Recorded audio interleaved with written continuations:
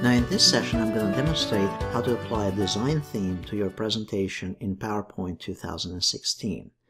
So supposedly we, we have created the presentation and now we are ready to move to the next step. We have created the layout but now we want to go and apply a design theme. As I mentioned earlier as well, it is not necessary to spend too much time on customizing every little object of it, but rather apply a design theme. Now to apply a design theme, you go here under the Design tab, and then you can click on any of those options right here under Themes. This is referred to as the live preview. It's basically going to, it gives us a, a preview of what that slide would look like if we applied this theme. If you click here on the drop down, there are additional themes that you can apply, and you can pick any of those. Once you pick a theme, it will apply that theme to all the slides in your presentation. So notice it changed the font here for all my slides. Now, if you prefer to have a specific theme for only a couple of the slides here, all that you'd need to do is basically select them by I'm holding down the control key here and then clicking on the slides that I want. And then you can go to any of those themes and then right click on that particular theme and then choose to apply it, that specific theme, to only the selected slides. In that way, my other slides would have the previous theme or a specific theme, but then other slides have a different design. I'm going to undo it here in my case. If you right click on any of those themes, you have also the option to set it as the default theme. That means that any time that you create a new presentation, it's going to use that by default on your presentations. Once we apply a specific theme here, notice that we also have those variations for this theme. And this is kind of new in 2016.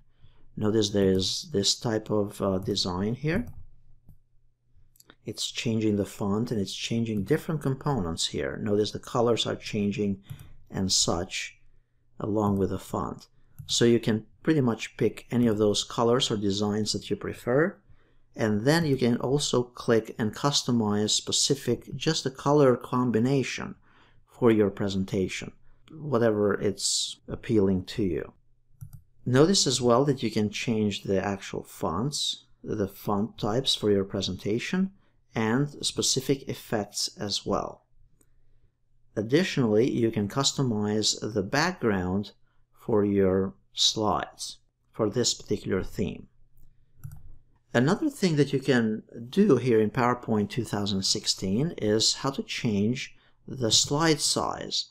By default in PowerPoint 2016, since most of the laptops and the computers out there, they use a widescreen and even the projectors nowadays support the widescreen, the default is 16 by 9 rather than 4 by 3, which was a standard presentation mode. So this is where you change the layout for your presentation. So if I choose the 4 by 3 this it's going to customize it and it gives you an option here to resize your slides and now it's going to readjust my presentation. Now notice it's more squarish like in the previous versions of PowerPoint. If I were to present this, notice it does it will not fill the complete screen. By the way, to present the presentation, you can also press the F5 key on the keyboard or click here in the bottom under the slideshow present mode. So if I present it, notice it's kind of squarish. Now if I want it widescreen again, we go here under slide size and choose widescreen 16 by 9 and now my screen it will be full when I go and present it. So you can tailor this according to the equipment that you're going to be using and the type of uh, projectors that they have when you're presenting it. Additionally here, you can format the background. Here, there's this background option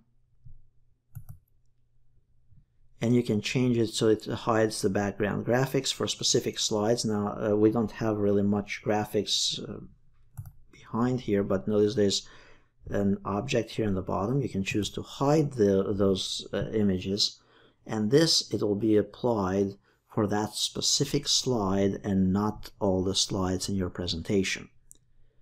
Obviously, you can change here additional settings that you can tweak and customize on your own. Now notice also there is a new option here, Design Ideas, and I'll cover this in the next session. This is new with the latest update of PowerPoint, so you need to have the Windows updates and the Microsoft Office updates. Check the next tutorial on, on using the design ideas.